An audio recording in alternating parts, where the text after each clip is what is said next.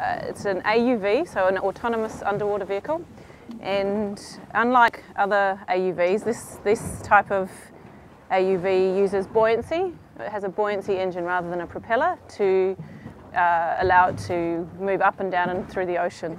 Behind the front of the glider is a piston, so this pushes a volume of water in and out and makes the, the volume of the glider um, different and so it changes its, uh, uh, the mass is the same so it changes its density and that allows the glider to, to sink or to rise and then it has these wings which transfer that, um, that sinking into horizontal motion. The science will be looking at the layers of salinity and temperature in the ocean and then some of the biophysical relationships between uh, salinity, temperature and oxygen, uh, chlorophyll and turbidity.